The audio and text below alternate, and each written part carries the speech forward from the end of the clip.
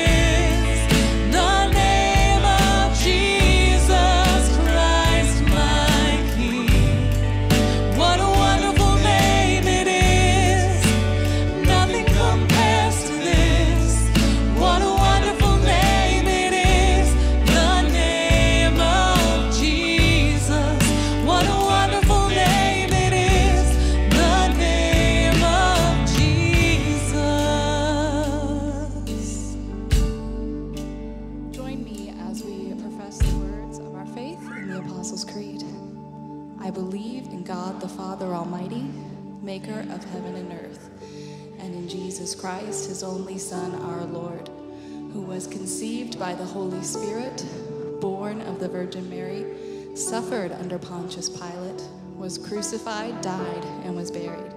He descended into hell. The third day he rose again from the dead. He ascended into heaven and sits at the right hand of God the Father Almighty. From thence he will come to judge the living and the dead.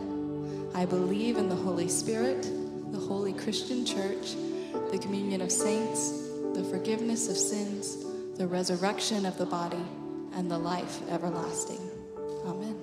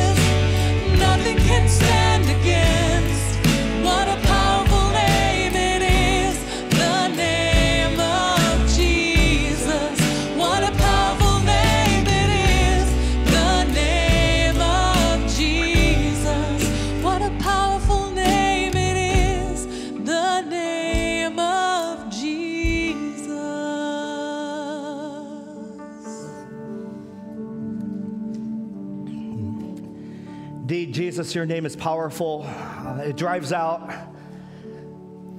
it drives out darkness, and your word says that the darkness in your presence it, it cannot stand. Uh, it has to flee. And so we pray over the darkness in our lives today, Lord, that, that it would be gone in Jesus' name.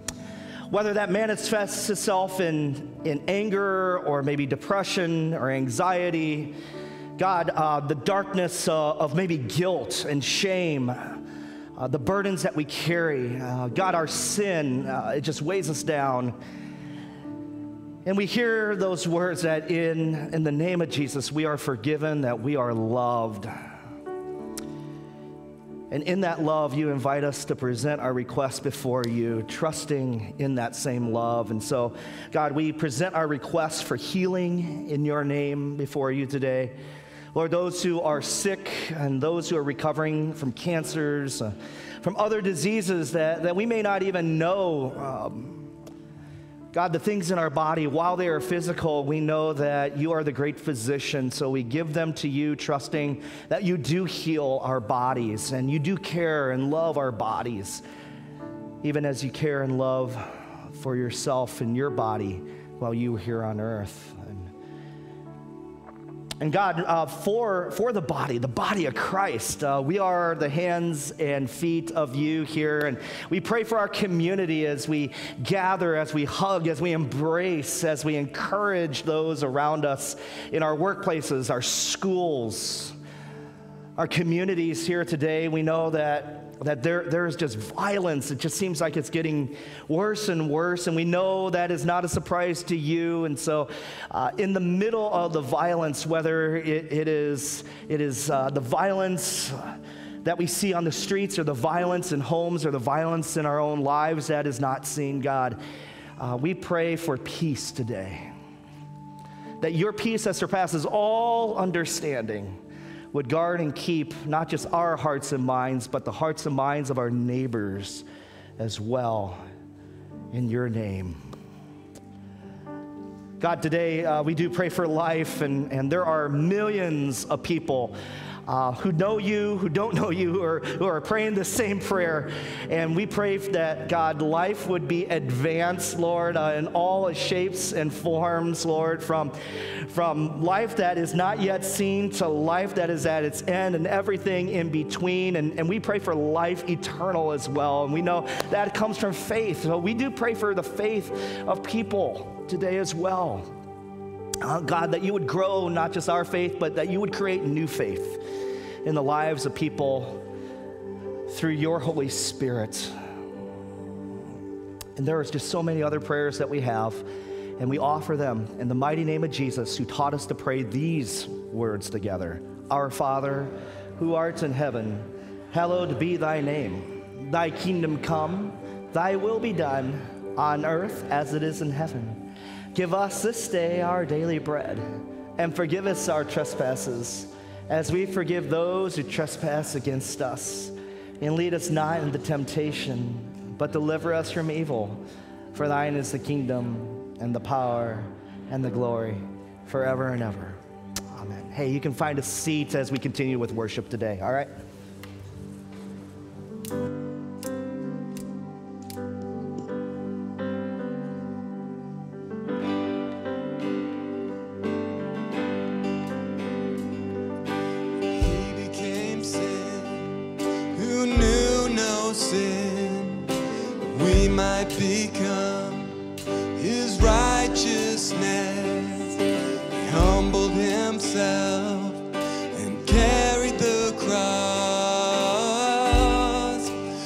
Love so amazing.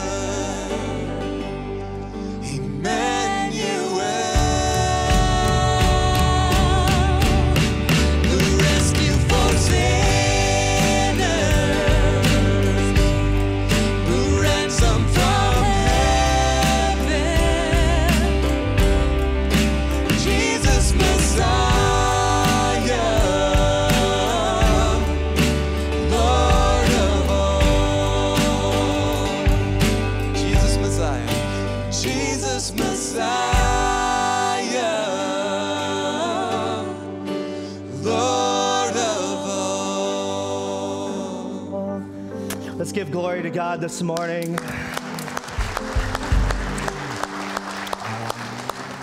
Hey, um, again, good morning to everyone. If you came in a little late, I'm Pastor Tim, and if you're online, good morning to you as well. Uh, our Southeast Asia mission team, all right, you guys are going to come on up right now. Pastor Matt and others uh, from our board of directors, elders, uh, you guys are going to come on up. And uh, as they're coming up, hey, just want to give you an opportunity to respond, you know, uh, to that love that we have from Jesus, our, our Messiah. Don't be shy. Come on up. Come on up.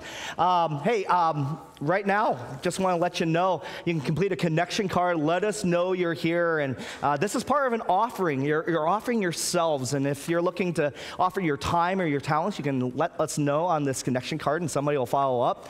Uh, if you're a first timer here, all right, welcome to you. And on the back, especially for you, but for all of us, uh, there's a prayer request area. And let that be your offering here today. You can place this card in the back of the room in one of those boxes, or if you're online, you can just drop it in the chat or click on that link.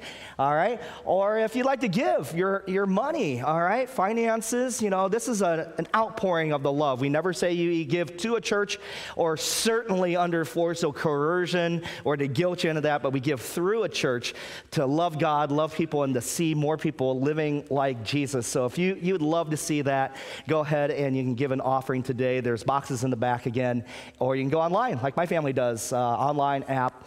Uh, go ahead and check that out, all right? Um, hey, coming up, we have a coat drive going on right now, all right? And you can have another week or so to bring those coats in to the lobby anytime during the week or give our office a call. Let, let us know you're coming by and we can have a place for you to make that donation. Uh, if you're sending an Amazon donation, all right, go ahead and do that. Just click, click, click.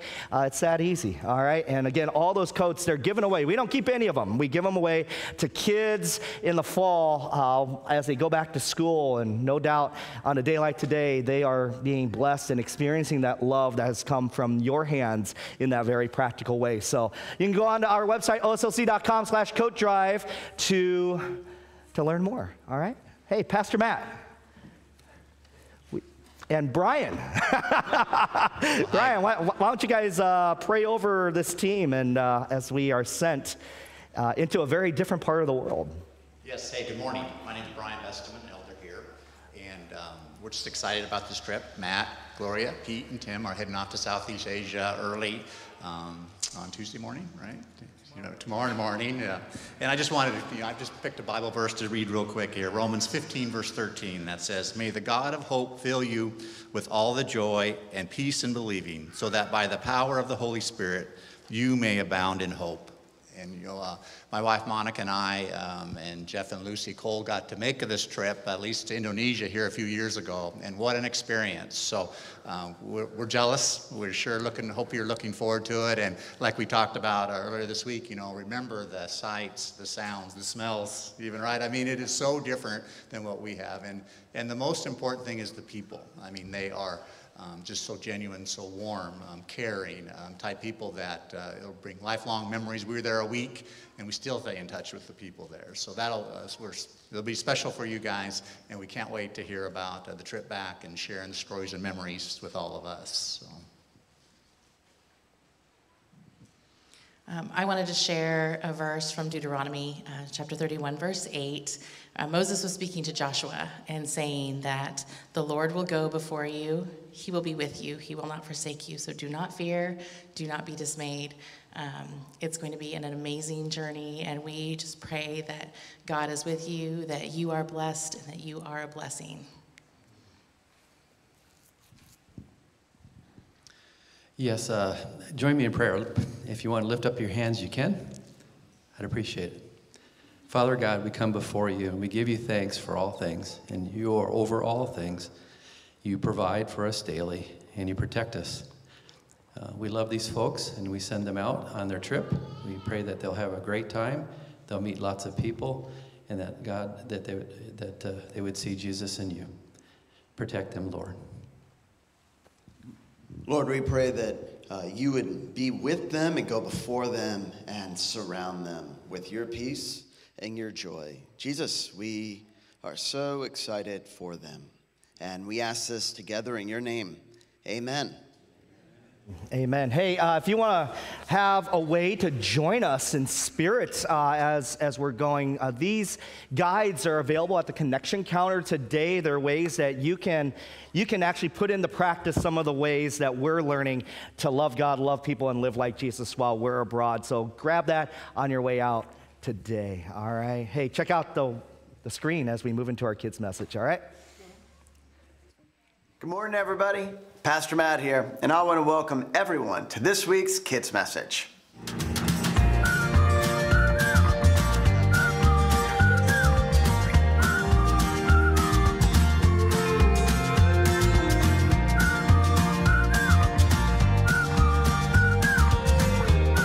I love facts and telling others about truth, especially animal facts. But sometimes a new fact can seem true even if it isn't. For instance, koalas can sleep for 22 hours every day. Did you know there are only two birds that can fly backwards? How about this? The giant Pacific octopus has three hearts, nine brains, and blue blood. Or what about this? Did you know sheep can recognize faces? The great white shark is the largest predator in the sea. And finally, did you know that dogs are certifiably better than cats? After Jesus' baptism in Luke 4 1 to 13, we find that Jesus had gone out to the desert to be tested, and the devil showed up and tried to twist what God had said in Scripture. But Jesus was prepared to face these challenges head on. He knew the Scriptures well enough to spot the devil's twists, and he overcame the temptations. You see, this reminds me of our bottom line today. Remembering what's true can help you make wise choices. It's important for kids to remember that if they have a big question about what to do, they can look at the scriptures or talk with somebody who knows the scriptures well, like a parent, a grandparent, a Kids Connect leader, or even a pastor or minister. Let's pray.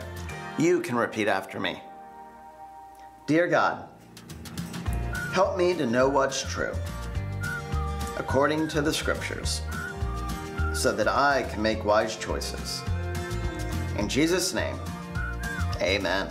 For more Bible fun, videos about today's lessons, and conversation starters for your family, head to the section called Kids Connect at Home in today's Kids News email.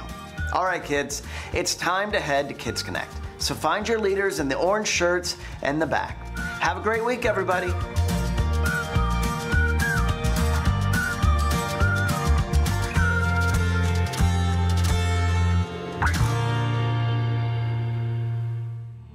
Growing up in Lebanon, Pastor Hesham was recruited by extremists, fought in the Civil War, and was on track to become an imam, a Muslim pastor.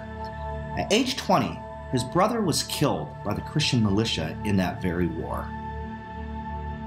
Desiring to destroy Christians, he began studying the Sermon on the Mount, and with Jesus' words, love your enemies, the Holy Spirit began to push the hatred out of Hesham's heart and filled it with Jesus' peace and love. Motivated by that radical grace and life changing love, he translated the Bible into Arabic as he ministered to Lebanese communities. He started at Salam Arabic Church, the first Arabic Lutheran church in Chicagoland, started by former Muslims and one of the first of its kind in the Western world. And today, Salam Ministries stretches from coast to coast, sharing that same radical grace and unending love helping immigrants, refugees, and international students, as well as equipping people to build deeper relationships among their Muslim neighbors. Let's give a warm OSLC welcome to Pastor Hesham Shehab. Welcome, Hesham. Glad you are here. And as we hear from the Word of God this morning, you can find a Bible. We are in 1 Corinthians chapter 1. That's what will focus our conversation here today as well. All right, so 1 Corinthians chapter 1, I'm going to begin in verse 18. All right. This is the Apostle Paul speaking to Christians, all right, like you and me. And he says this in a declarative way. He says, For the word of the cross is foolishness to those who are dying. But to us who are being saved or living, all right, those of us who have life, it is the power of God. It is written, I will destroy the wisdom of the wise, and the discernment or the knowing of the discerning I will thwart. Where is the one who is wise? Where is the scribe? Where is the debater of this age? Has not God made foolish the wisdom of this world? For since in the wisdom of God, the world did not know God through wisdom, it pleased God through the foolishness of what we preach to save those who believe. Why? Because Jews demand a sign, and Greeks, they seek wisdom. But we, as Jesus followers, we preach Christ crucified, a stumbling block to the Jews and foolishness to the Gentiles. But to those who are called, both Jews and Greeks, Christ, the power of God and the wisdom of God. For the foolishness of God is wiser than men, and the weakness of God is stronger than men. Why? Because consider your calling, brothers. Not many of you were wise according to the worldly standards. Not many are powerful. Not many were of noble birth. But God chose what is foolish in the world to shame the wise. God chose what is weak in the world to shame the strong. And God chose what is low and despised in the world, even things that are not, to bring to nothing things that are, so that no human being may boast in the presence of God. And because of him, you who are in Christ, who became to us wisdom from God, righteousness and sanctification that's being made holy, and redemption being bought back, so that, as it is written, let no one who boasts, let the one who boasts rather, boast in the Lord. Mm, This is God's word. Hey, uh, Pastor Hesham, let's jump right to it. You were born in Beirut. Yes. Uh, that's in the country of Lebanon, on the other side of the world. And from a very early age, um, you experienced this tension uh, between the culture that you lived in, which was, was largely Islamic, all right? Largely Islamic. And you experienced the attacks of that that culture, specifically in, in the sense of this tension between Muslims and Christians. Uh, what was that like growing up in Lebanon with that tension? Let me explain first that Lebanon, the Middle East, is a different country than other uh, countries because Lebanon was created by the colonial powers as a haven for Christians in the Middle East. So it's the only country with a Christian president, Christian commander in chief, and uh, the Christians were half of the population, 50% of the population. But they made the mistake of wanting to be like the French, so they had one kid and a dog. And in the long run, in five decades, the Muslims outnumbered them. And they started to ask for political power, which is their right, but the, the Christians won't let go. And uh, the first civil war we had was 1958 uh, lasted eight months. I was minus two years old then, so I wasn't part of it, you know. And my dad was, and uh, but when we got to the 70s, uh, the Palestinian refugees and militias uh, came to Lebanon and disrupted the balance, of the sectarian balance, if I can say, and they boosted the, the Islamic uh, presence in Lebanon, and they were the army of Islam, if I can call them. And so the Muslims were start to have more clout, and uh, the Christians feared for their, you know, uh, future and presence, so they organized in militias. So from an early age, I used to be harassed by Christian kids, and uh, my first encounter with a Christian boy was at seven years old when I was playing marbles in the field. Many of you may, if they are old enough, they remember marbles. There were no iPads to play with, no computers, so marbles, you just, I looked up, uh, uh, uh, William was William's Christian name in, in Lebanon. I mean, nobody calls William. So uh, was standing above me with a stick, and that stick was a nail, and he banged me on the head. he got me here. You can see the scar. Yeah, the scar. Blood spattered my face. So that was my first encounter with a Christian boy. And there was a lot of hate, you know. Uh, I remember that they would swear at me behind my back. You know, I was uh, walking through in the neighborhood, you know. So a lot of hate towards Muslims, you know, uh, from the Christians. So, uh, we, and we felt as Muslims living in shame because we were the only Muslim population in the Middle East subjugated by a Christian commander in chief, you know? Yeah. So, So the political dynamic brought some of that tension, but also as the population shifted, as you said, Yes. uh, you really felt um, the effects of, of sort of m- the militant side of Christianity uh, as a cultural Muslim. well, if, if I can say the militant side of Christians, not Yeah. Christianity, Yeah. because like, uh, and uh, they were armed to the teeth. They were uh, well supported by some Western, actually, countries, including France and Israel as well. So uh, we were kind of felt that we are the underdog. Like, uh, you know, Muslims pray on Friday. So if you want to go, that's their, their congregational prayer. So if you want to go on Friday and you are an employee or a teacher or something, you have to sneak out and sneak in. While Sunday is the official holiday Yeah, for the religious day of the The week. Christians enjoy Sunday. Yeah. And uh, so we were, we were trying to uh, impose Friday as a holiday. We failed, you know, Yeah. Until today. Yeah. so, so you grew, you grew up, um, age 13, you were recruited by a group of uh, what we would call extremists, and you were really on track of becoming an Islamic pastor or a Yes. Muslim pastor, what we call an imam. Yes. Um, what drew you into that? What, Yeah. what was attractive Yeah. in becoming a, a religious leader? You know, I, I was uh, a bookworm since I was kind of the age of 10 or 11 and uh, think a lot about what's going on around me.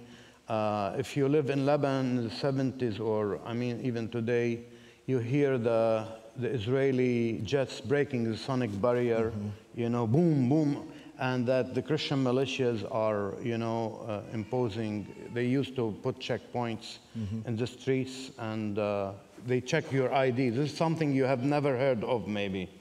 If you, they, they write the, the sect on the ID, the religion. Mm-hmm. Muslim, okay, come down. They will mm-hmm. and shoot you, you know. Mm-hmm. So m- many were massacred in the 70s like that. So, uh, so I was looking for answers, and the Muslim Brotherhood told me Islam is the answer for everything, you know. We say rightly that Jesus is the answer, but Islam is a political system, a economical system, a religion, a faith, what have you. So they say Islam is the answer, and uh, the Muslim Brotherhood gave me books that explained, like, uh, what they say is that we, we became the underdog in the world, not only in Lebanon, because we did not follow uh, the commandments of Muhammad, the Prophet of Islam. We were not good Muslims, so when, when we were good Muslims, we were able to build a global empire from India to Spain. Okay, so uh, this attraction that uh, uh, it will give, uh, you know, me answers as well as, you know, um, more than answers, uh, to be effective into transforming the community, which Muslims were losing their, uh, you know, faith, if I can say. They were nominal Muslims, so we were trying to Islamicize the community in order to change the social network, uh, uh, you know, uh, fabric, and then build again a Muslim state, an Islamic state. So one important story how I got into be uh, into this uh, track to become an imam, a Muslim pastor, if I can say. I was going with my brother to uh, test a small mortar cannon. And this is an important story because it, it makes you understand the dynamics of Islam more. So it was a small mortar cannon, and uh, we kind of uh, went to the green line between the Christian and the Muslim neighborhoods, and uh, after the third shell, I felt uneasy because I told my brother, he was two years older than me, that this bomb may fall and kill innocent people. I didn't sign up for that. I want to defend the Muslim community. I want to revive the Muslim community, not to kill innocent and civ- uh, civilians, innocent people. So uh, I convinced him to pull out, and I went to the headquarters of the, uh, the Muslim Brotherhood leader was there. I asked him the same question. I signed up to defend the Muslim community against the Crusaders. We called Christian Crusaders. Mm-hmm. You know, you see in Islam, history is alive. They don't forget the Crusaders. They don't forget the, mm-hmm. the past glory. They, they look for the future and work even slowly to build a caliphate, a mm-hmm. Muslim, you know, community. So I asked him the same question. I signed up to, uh, you know, defend the Muslim, you know, community against the Crusaders. Now I see myself maybe killing civilians. He asked me a question which a key to understand Islam. Who is your example in life? I said, Muhammad, the Prophet of Islam. He said, this is the best answer because Muhammad uh, shelled his uh, uh, enemies with catapults. And catapults are blind medieval machines, while also uh, mortar cannons are, are blind modern machines. By analogy, we're doing the same thing. We have to weaken the enemy. A dead civilian is better than a, de- a dead militiaman. And uh, he said, Nobody asked me this question before. You seem to be like a thinker. I said, Well, I, re- I read your, the founders of the Muslim Brotherhood, the books, and uh, I, he heard me recite the Quran once, and he said, You are excellent in reciting the Quran, and started memorizing it. And he said, We need new blood, you know? We need new kind of uh, leaders in the future, and you are from a good family. Now, the name Shehab may sound like shish kebab here, you know, but uh, Shehab in Beirut, we were 5,000 voters when I left. Now they are 10,000 maybe, you know. So uh, there is Shehab Mosque. I went to Shehab School, imagine, you know, Shehab Islamic School. So uh, uh, he said, we need, we need new leaders. So, but God's hand was there, kind of. I was, they assigned a mentor for me, and uh, in six months they were able to microwave me into a preacher. And uh, I was ready to give my first Friday sermon. And uh, two weeks before that, I was going to visit my aunt in her summer home in the mountains when I got into a car crash, uh, broke both legs. Instead of, of preaching Friday, I kind of, I was uh, uh, hospitalized for 50 days, broken both legs. And, uh, you know, uh, and this really kind of uh, um, blocked my kind of uh, me on the track of becoming an imam, you know? Yeah. Yeah. So all that's happening. Uh, you're starting to becoming a mom. Uh, you Yeah. have broken legs, and Yeah. and just in the middle of all that happening, Yeah. you get word that your brother died. Now this is this happened later that uh, I uh, I was hospitalized at the American University of Beirut and I remember that my brother used to carry me. He was a uh, an athlete and uh, when we uh, used to go to physical therapy, I, I couldn't even walk on crutches, you know, because both legs were broken. He would carry me and. Uh, I got interested into medicine, you know, uh, through the American University Hospital, and uh, so I, I decided to teach myself English in order to go to the medical school. So I, and I thought the Muslim Brotherhood really encouraged their people and leaders to become, to go to high places in order to put more influence into the community, to have more influence. Yeah. So they blessed that, and uh, so I taught myself English by reading Louis L'Amour, you know. yeah, and I like cowboys and Indian stories. So, so in 1980, I was a freshman at the American University of mm-hmm. Beirut in my first semester when my only brother, my only sibling, mm-hmm. was killed by a Christian militia. I was devastated. I couldn't focus on my studies. Mm-hmm. I got a silencer and a gun and decided to kill my enemies. Mm. And uh, any uh, member of that militia I thought is game, you know. And I, uh, some of them were my classmates, and I thought I would make friends with them in order to ambush, know where they live, how they move at night, in order to ambush them easier, you know. So, uh, but I came one morning to, uh, from a night of stalking those people when I heard something that would change my life.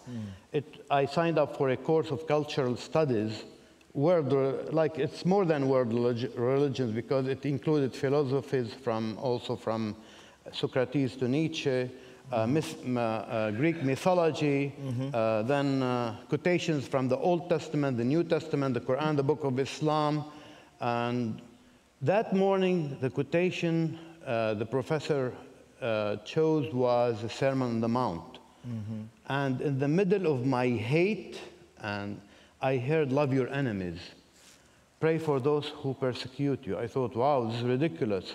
I had memorized half of the Quran by heart, and the Quran tells about the miracles of Jesus, not about his teachings. And this Jesus Christ in the Bible is different. So, who could love his enemies? The second day, uh, she uh, brought a quotation from Matthew 22 when Jesus was asked uh, by the Pharisees about the greatest commandment. Mm-hmm. Rabbi, what's the greatest command? They were trying to trick him. He said, Love God with all your heart and with all your soul and with all your mind and with all your strength. I thought, wow. Muslims are, are trying to love God. If you think it's a big deal to come to church Sunday morning, remember that Muslims go to, to the mosque, devout Muslims, at dawn every day. Mm-hmm. I mean, that's the first prayer at dawn. Mm-hmm. But this Jesus Christ is overdoing it, you know. Who could love God with, like that, you know? So I, so the death of my brother, like, you know, gave me a, an existential shock. So who could say something like this? This is superhuman. So I got a Bible and started comparing between the Bible and the mm-hmm. Quran. Yeah. But I thought I should never leave any stone unturned. Maybe the, the truth is not, the, the words of Jesus turned the tables of history on me. Mm-hmm. So uh, maybe the truth is not in Christianity, maybe it's not in Islam, mm-hmm. maybe it's, it's in Eastern philosophy, you know? Mm-hmm. So, so I looked for a Hindu temple or a Buddhist temple in Beirut in 1980, 81. I couldn't find any. I found a yoga course.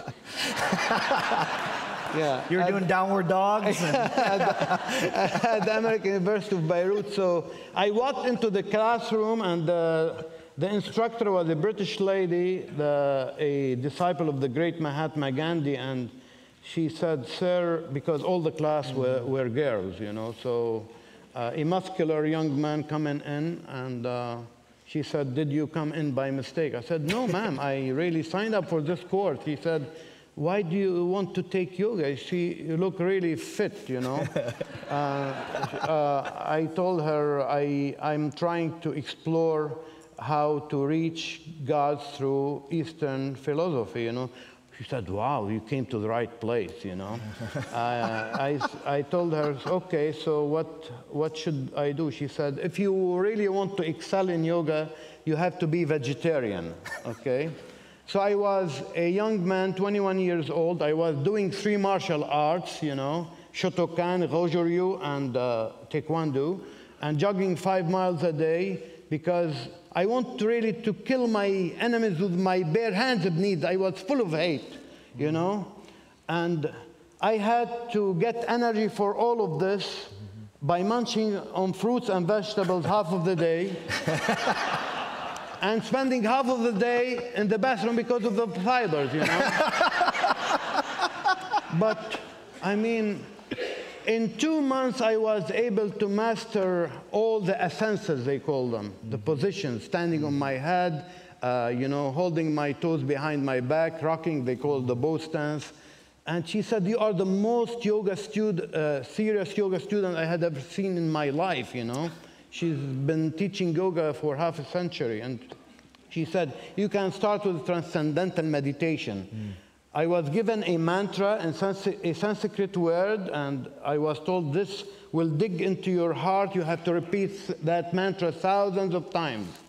And then you will climb up to Brahma or, uh, you know, the creator, uh, and uh, and step by step, the last step is samadhi, union with the Creator. The more I repeated that mantra, the more stupid I felt actually. the more I repeated that mantra, the more I realized that I'm not climbing up to God. I'm, in, I'm going down in my filth. There's a better word I can't mention in mm. church, right? So it dawned on me we may try to climb up to God mm. with our spiritual exercise. We may try to climb up to God with our good deeds, but it's actually an upside down story. God Himself came down to us, and the Word became flesh mm-hmm. and dwell- mm-hmm. dwelt among us. Mm-hmm. Jesus take the cross to change the human tragedy of existence into victory. He took the most shameful way of death to turn it into honor and glory. And I felt I want that glory and peace to forgive my enemies like He has forgiven me. I led a, an initiative of peace and reconciliation between the, the militia that killed my brother and his own militia in mm-hmm. the end. You know. Yeah. Yeah. Yeah. And that radical grace and unconditional forgiveness that your experience it's, it's emotional. It's more than just an idea or philosophy. Uh, it's a person. And it's the person who you have gotten to know in Jesus. It took me seven years to, to intellectually, you know, accept Jesus, if I can call it accept, but it took me more to be called to faith, you know. And uh, at one point I was, you know, I, uh, I couldn't do medicine. I did, uh, uh, I did really an associate in science and a BA in English uh, language and a teaching diploma and a master's degree in history of Islam and wrote a PhD dissertation on Islam. But I was a full-time journalist and a, uh, a professor, uh, uh, adjunct professor at the American University of Beirut.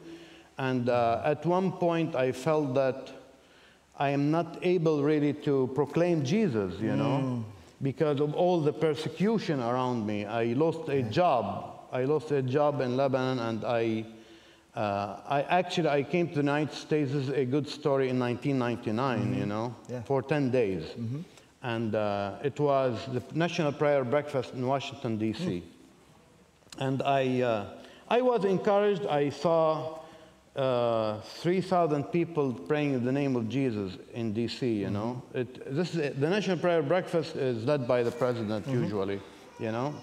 And uh, I went back to Lebanon and lost a job because I was accused of being a CIA agent, you know. Anybody who works for human rights, and I was a human rights activist, is why I was invited by Carl Medearis too, you know. Yeah. So, um, I so the next year, so I lost my job, a good job. The next year, I was invited to speak in Switzerland, and uh, that really kind of uh, uh, time was uh, very, very kind of emotional because what happened is that there were 500 people in the in audience, and I was giving a speech about how the Sermon on the Mount changed my life. You know, from a uh, a man who's seeking to kill his enemies into a peacemaker.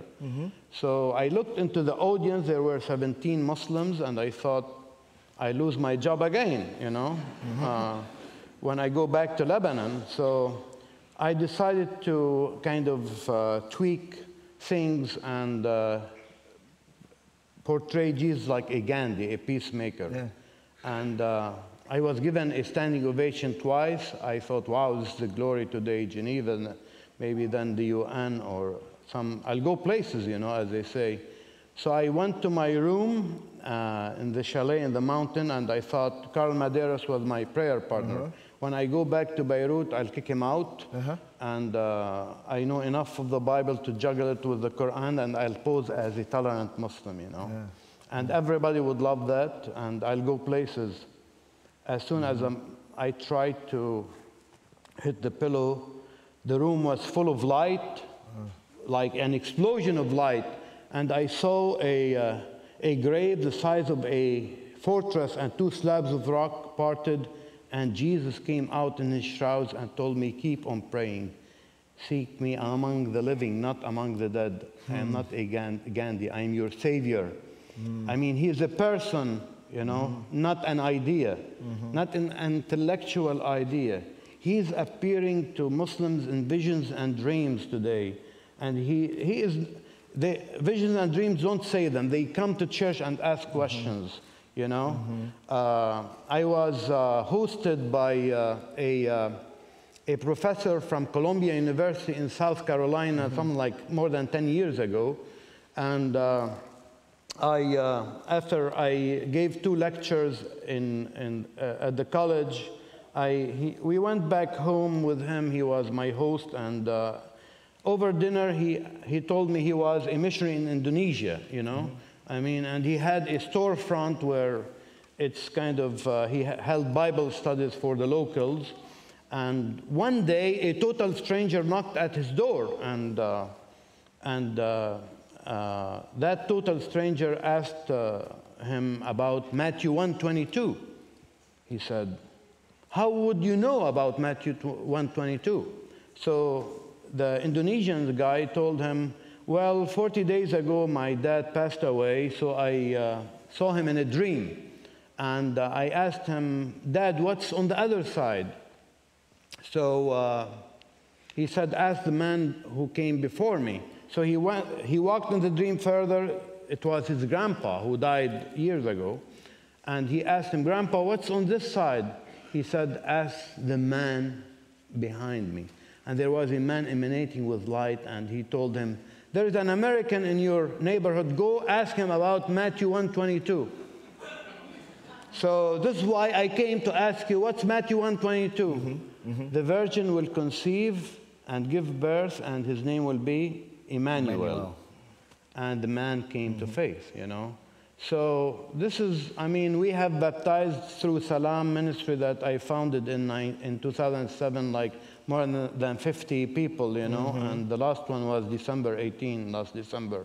And uh, many of them have seen Jesus in vision and dream before they came to ask questions. Yeah. Just, uh, you know, uh, two months ago, an Egyptian 75 years old who came to, to America 40 years ago, he said, uh, he, he posted on Nextdoor app that uh, I am Muslim, I'm from Egypt, I've, I have seen Jesus in vision and dreams the last few years.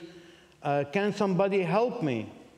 And uh, a lady who knows me uh, texted me about it, and I, I downloaded the Nextdoor app and met him. And I asked him, What did you see? He said, A man emanating with light with a cross around his neck, and he is at a door. I told him, Oh, this is easy. Revelation 3:20. Here I am, I knock at the door. Whoever opens for me, I'll sup with him. That's Revelation 3:20. He said, Now I understand. I need to open my heart to Jesus, you know? Mm-hmm. So this is, I mean, just an mm-hmm. example of many. Yeah, yeah. And, and you are a walking, living piece of scripture right here with these stories over and over and over. The foolish things of the world, like dreams and visions and um, random connections, and you laying there in Geneva, Switzerland, and having that experience. I mean, you, you, you talk to any sort of everyday American, Westerner, and they're like, that's foolishness. Like, what are you doing? It, it doesn't make sense. And Yeah. yet,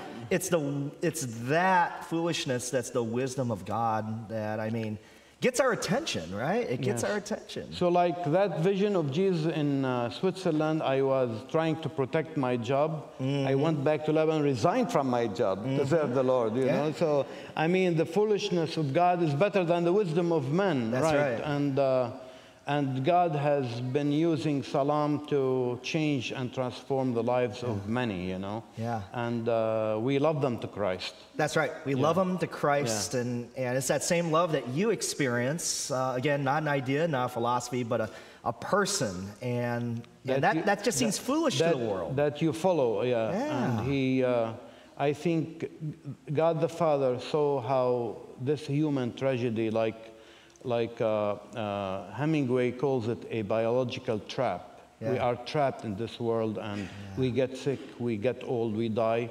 But Jesus turned the human tragedy into victory, you know. Yeah. and uh, came down to earth to be one of us, you know, and uh, help us overcome all the, the pain uh, we have in this world. Yeah. Yeah. That's awesome. You brought a friend with you, Yeah. Rashim. Yeah, speaking, loving Yeah. them to Christ. Rahim, And, and why, why don't you come on up, Rashim? Let's Yeah. welcome Rashim forward. And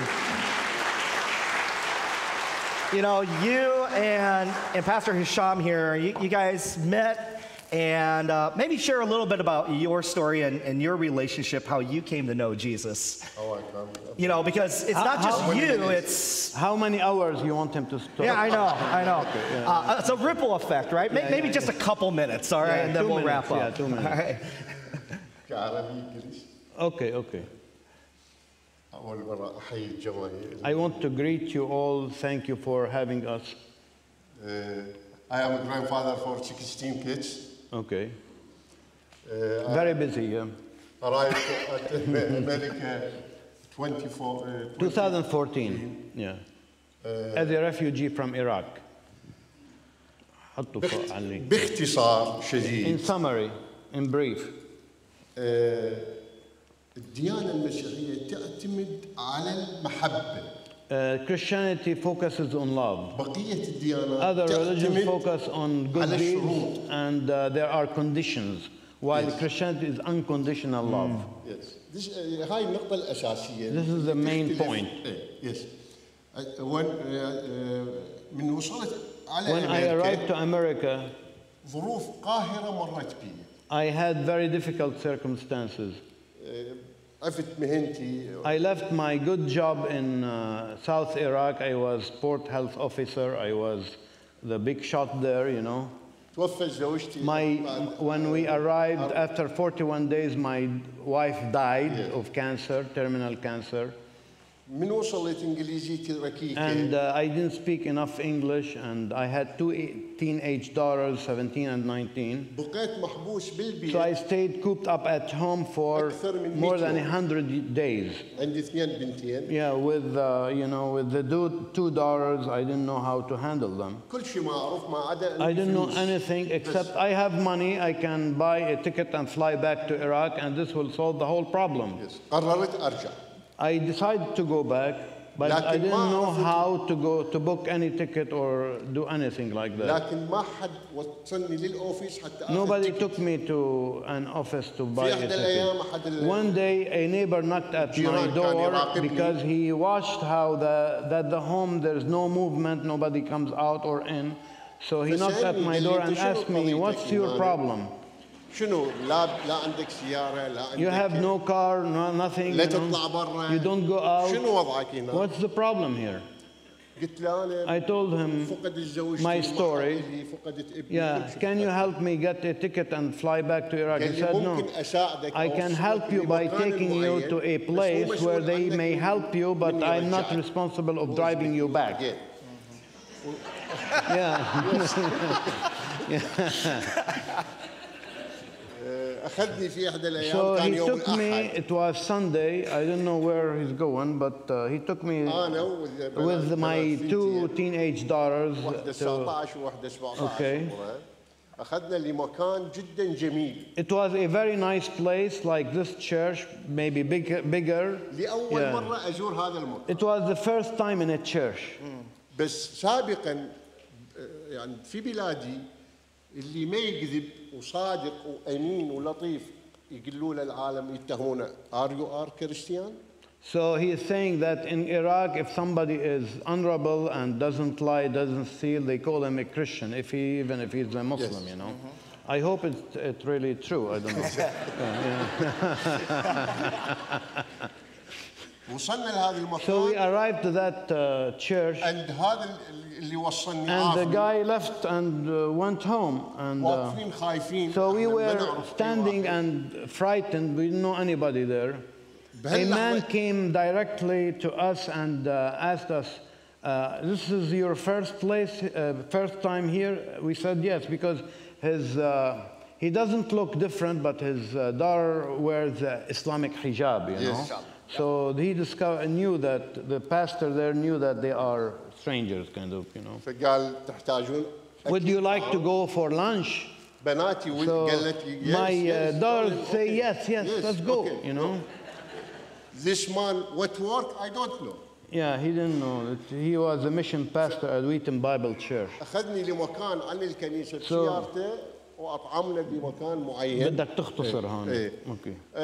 آه، ب- بعد ما رجعنا After lunch, he drove us home, uh, but he وعدني said, إنه- Saturday, somebody will come take you. بعدها Saturday. يوم السبت قال لي ممكن ت- تجي ناخذك لمكان معين وافقت انا So said yes gladly. So اجى يوم السبت Saturday we woke up very early because we put on good clothes and we were anxiously waiting for you know somebody to come at five in the morning. يوم So, yeah. يوم السبت اجى Around 11, قس هشام this guy came. Yeah. Yes. yeah. yeah. I, I was driving a 12 passenger van picking up people to church, so, so those who do not really drive or ما whatever. اعرف قس هشام ما I اعرف didn't وين know him, but ماخذينه uh, I didn't know where, where we are going, so. Uh, بس نضرب الباب وطلعت له ناداني باسمي So I called him by name in Arabic. So, oh, somebody who speaks أنا من Arabic. قد الفرحة Okay. واللي أول I مرة was بأمريكا. so joyful that uh, I hugged him and kissed him and what have you. Yeah, so, So, you so coffee? Yes. Coffee, hot chocolate, what have you, yeah. So we arrived to Salam, Fellowship, 40 people from eight different countries, you know, speaking Arabic. They welcomed me, they asked me about my uh, circumstances, they consol consoled me, and since then things became better and better. He got me a driver's license, Took his, uh, I took his kids to school, you know, registered them and college and uh, whatever he needs. Uh, yeah. وات اي نيد دو شنو احتاج الكنيسه سوت Whatever I need, the church Salam helped me. خطوه ورا خطوه خطوه ورا خطوه السبت اروح على السلام وال... أوكي. والاحد اروح على الكنيسه أوكي. بدنا نختصر آه، هون. خدمه أوكي. السلام ختصر. كان سبب رئيسي انه Salam القلب تحول was the main reason how my chi- heart changed, you know. بديت And, أقرأ uh, I الإنجيل. started reading the Bible. سايد and, uh, عربي سايد and, uh, انجليزي it was bilingual Bible, Arabic أر- and أراقب English. And I الآخرين. started to watch those who come to church, those who are Christian leaders, and I felt that God is pouring His love through them, you know. بعد سبع After سنوات seven years, I decided to I- follow Jesus. open my heart to Jesus Okay. Yeah. yes So. Yeah. He, he was. and I told him anybody need help I help yeah. He he took people to Secretary of State, the DMV, and drilled them how to drive. Got their driver's license with his car. live with the you know? Jesus Yeah. came happy Yeah. yeah. Amen. Yeah. Thank you. You see, see, thank you